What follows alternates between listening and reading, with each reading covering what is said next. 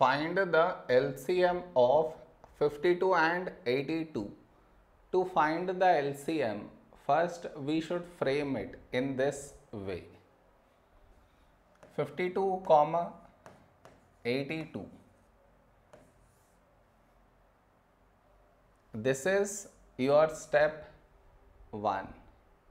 Now you should focus on to the first number which is 52 here. For this number last digit 2 even so take 2. First number 5. A number close to 5 in 2 table is 2 2's 4. 5 minus 4 1 1 carried forward 12 when do we get 12 in 2 table 2 6 12. The other number 82 last digit 2 even so this is divisible by 2.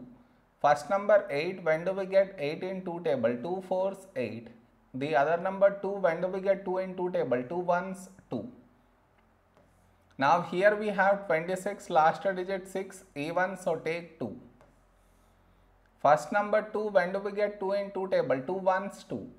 The other number 6 when do we get 6 in 2 table 2 3 6. Now the other number 41 last digit 1 not even so this is not divisible by 2. So we write it down as it is. Now here we have 13, 13 is a prime number so 13 ones 13.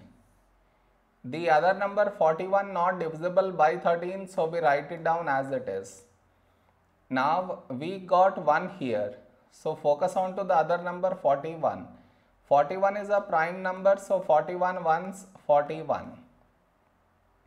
So we got 1 in both the places. So our LCM is LCM is the product of these numbers that is 2 into 2 into 13 into 41.